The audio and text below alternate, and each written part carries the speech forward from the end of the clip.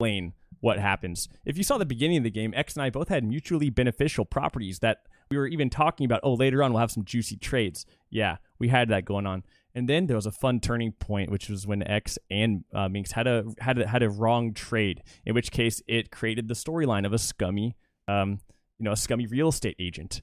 And um, you know, I am gonna press the scummy real estate agent in order to make sure that they don't come out on top because you know they were uh, in a pretty good position, and most of us were in bad positions. So because of that, moving forward, uh, yeah, we press whoever whoever is in that position. It doesn't matter who it was. It could have been fucking Minx, whoever it was. It would have been the same no matter who it was, and uh, that's just how it is.